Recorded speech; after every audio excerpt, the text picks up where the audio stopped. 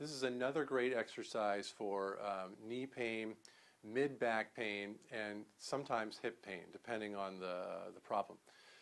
Uh, I'm basically doing, I think, what's called like a bird dog or a, a leg extension. Very straightforward exercise. I'm going to do it in a particular way. So I'll go ahead and turn sideways and show you. But this is a great way to get your body moving in a uniform fashion and to really resolve some of the structural problems that are at the base of, uh, of um, the pains that you see arising in the knee, in the hip, and in the back generally. So go ahead and turn to my side. I want to be on my hands and knees. I'm on all four. Hands are directly below my shoulders. Okay, I'm going to just see, do a tester real quick, see if I have enough space. I do not. I'm hitting the table. So I'm going to move up here, or I'll move back, actually. Is probably easier.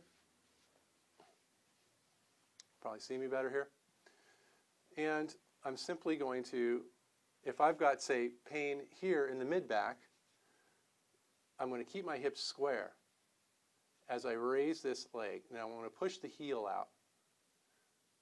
Okay, like I'm kicking something, but not. This is a slow movement. It's not a. It's a very deliberate movement. It's not a fast movement. And then I'm going to bring the leg up, directly up, not out to the side and not bent, but directly up. Okay, keeping my hips square. My hips want to rise. I'm going to keep them square and bring that leg up. That forces my back to work and then I'll do the other side. Now for me, the left side is the side where I have challenges. This is going to want to lift. i got to remember and bring it down. So first I extend straight out, then I lift. Straight out, then I lift. Straight out, then I lift. Straight out, then I lift.